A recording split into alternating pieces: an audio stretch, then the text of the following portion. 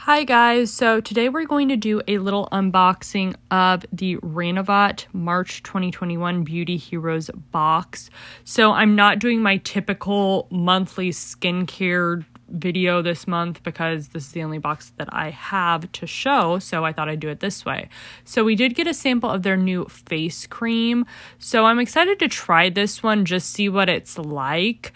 And then we also got their fortifying hair serum, which I love this product. The jasmine in it smells amazing. It's a really absorbent, lightweight oil as well. It actually works really, really nice for the hair because of its consistency. So I use this in its old packaging, loved it. And then we got this hand cream. It's their Sacred Rose hand cream.